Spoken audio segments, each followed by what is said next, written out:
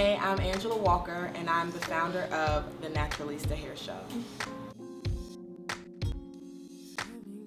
I started the Naturalista Hair Show because after traveling from Atlanta to New York to Florida to see different um, natural hair shows, I figured that DC needed a show of our own.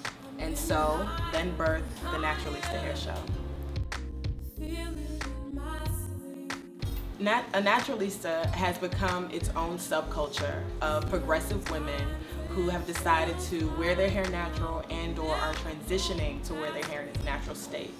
Um, naturalistas tend to be more health conscious, being able to exercise now that they're not worrying about sweating out their hair and really working to find that balance between um, work and play and just finding that time for family um, and living a happy, healthy life that's filled with a really good dose of laughter.